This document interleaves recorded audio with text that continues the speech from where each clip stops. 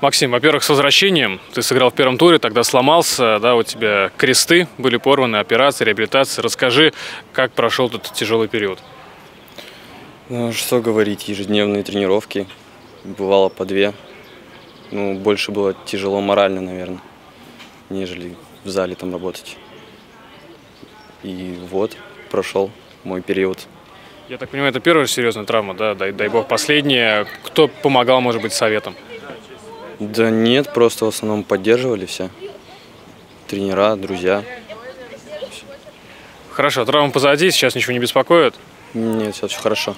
Ты уже сыграл в товарищеских матчах, э, сыграл против команды «Кто хочет стать легионером», везде был ярок, заметен, и вот, наконец, э, первенство молодежки. Что говорил э, тренер перед тем, как выпускал тебя?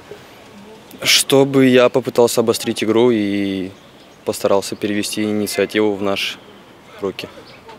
Получилось? Ну, вроде как было пару опасных моментов с моим участием. Ну, первый матч, так что я думаю, нормально все.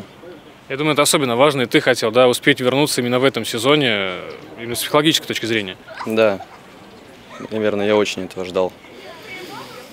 Какие планы теперь? Какие планы? Тренироваться, работать, чтобы в дальнейшем завоевывать только первые места.